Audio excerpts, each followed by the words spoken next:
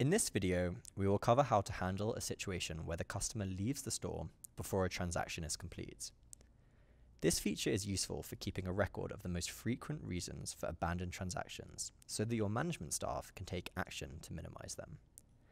First, make sure you have an active customer selected from the queue.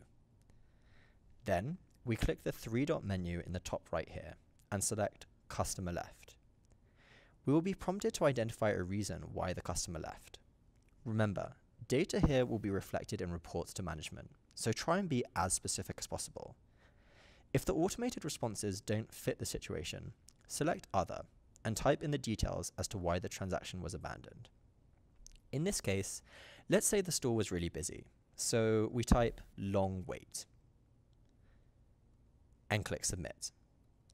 You will notice the customer is now no longer in the queue, and any items that may have been added to the cart have been removed.